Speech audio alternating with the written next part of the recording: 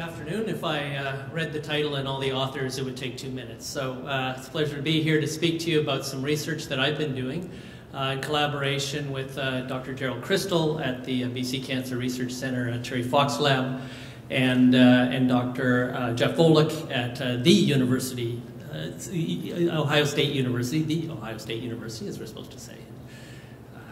So um, uh, our research looked at the uh, therapeutic benefits of ketogenic diets for women with um, metastatic breast cancer, stage four metastatic breast cancer.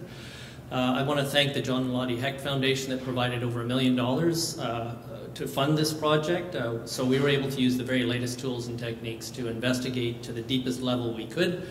And, uh, and we're just producing the results now. We were doing some immunohistochemistry we were doing some uh, very advanced uh, examination of their metabolic state and also cancer imaging, the first ever clinical use of a digital PET scan, PET CT for our studies.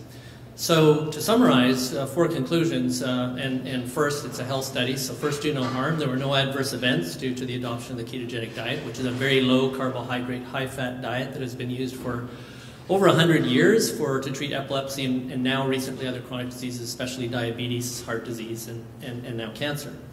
Um, secondly, we found that there, uh, the changes that we saw in the, um, in the women's metabolism was the same kinds of positive changes we see in very healthy young athletes. Um, so even the fact that they were very ill didn't impact the positive changes that resulted from adopting the diet. Uh, thirdly, we did the immunohistochemistry at the BC Cancer Research Center and found that there, it was indicative of some positive anti-cancer changes. Uh, and fourthly, with the imaging we were able to do, we saw um, remission and in some cases complete remission of hypermetastases of the breast cancer in the liver in particular. Thank you.